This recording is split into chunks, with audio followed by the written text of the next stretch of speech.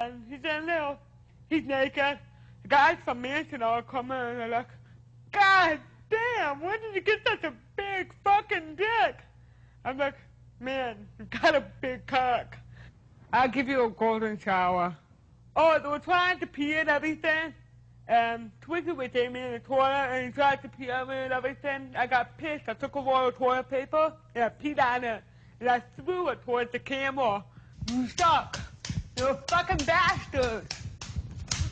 They took a fish head and they threw it in the shower. But that was after I already got out. And Scott was dead in the shower. But not all of Marilyn Manson's followers were of the fly-by-night nymphomaniac persuasion. The sadistic leader of this now world-famous band had a softer side. To me, the nicest thing about Marilyn Manson was Brian's girlfriend, Missy, who was a sweetheart, who in those days I told Brian that she's too good for him. And I'm just sorry that she's not with him to enjoy all the effort she put in to help him get where he has gotten.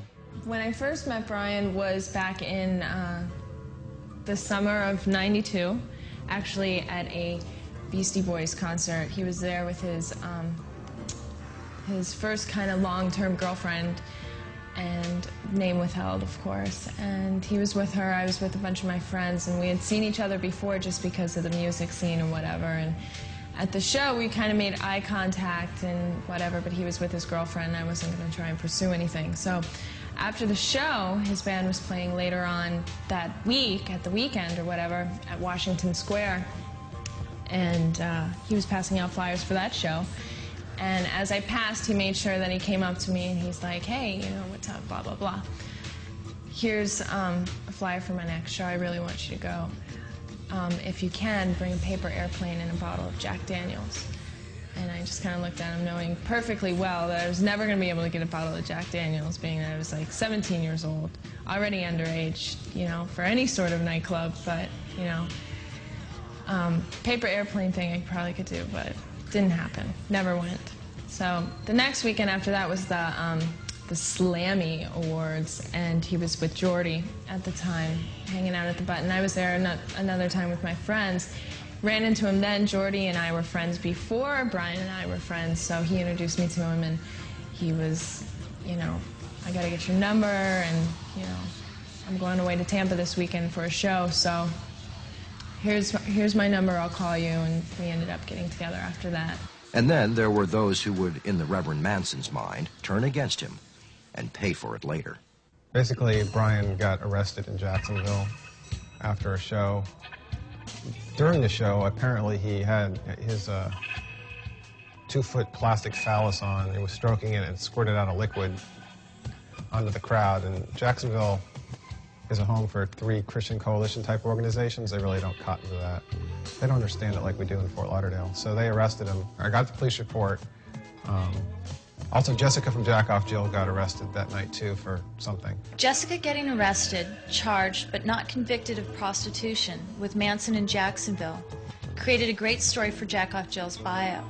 Any sort of controversy is great press for any band. So I put um, Brian's name in the paper along with Jessicka's name because anytime someone gets arrested, that's what you do. I still can't believe that Brian got, Brian Hugh Warner got so bent out of shape because I printed his name in the paper.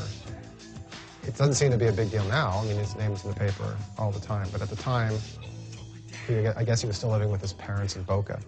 And uh, he didn't want his name in the paper. In the paper, we called him what he wanted, which was Mr. Manson.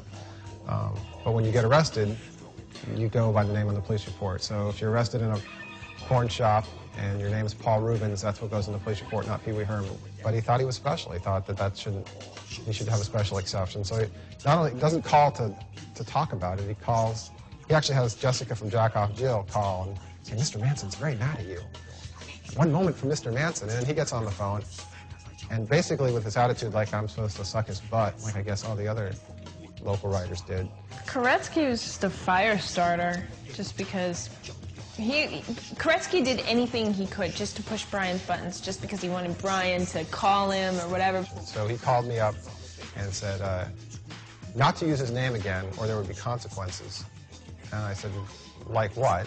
And he said, uh, that I would have to look over my shoulder and worry about my physical well-being, although I don't remember the exact words. Um, I said, are you really going to do something? And he said, no, not me, my fans. I think Brian called him up and left him some sort of death threat. And he just repeated, look, I said don't use my name. And uh, I guess at that point, I, I think about it, I probably even laughed. I didn't mean to be disrespectful to a guy that wears dresses, but um, he basically basically went off and said a whole bunch of other stupid things that I later put in a column, which really made him mad. And apparently Laura Werder, who was running his fan club at the time, said he was throwing stuff against the wall, cursing my name, which sort of made me happy. Manson once described his girlfriend as the only person left that he was capable of feeling any love for, and through a rocky six-year relationship, Missy became the closest person to Brian Hugh Warner. A major part of his personal and professional life, Missy knew what made Manson tick better than anyone else.